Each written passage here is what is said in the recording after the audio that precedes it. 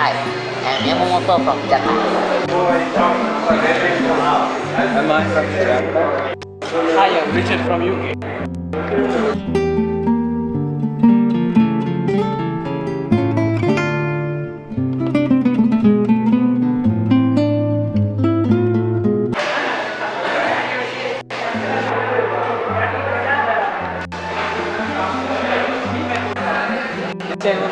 The conference was very interesting.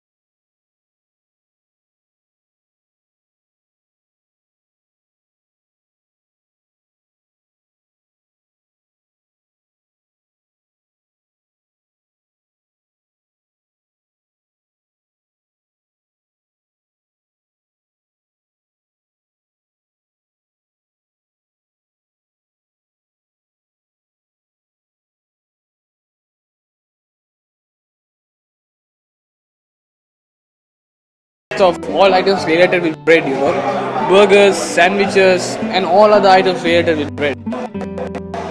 I think I'm eating with my hands in the last for the first time in the last two months.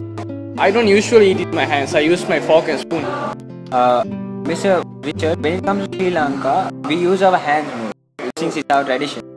And did you know that the digestive process starts from the hand? Oh, really? When it comes to Sri Lanka, I've heard a lot from many people that it's famous for its cultural and historical places and its culture. Is that true? Yeah, when it comes to Sri Lanka, uh, customs and traditions plays a major role in our life. So, what about yours, Mr. Yamamoto?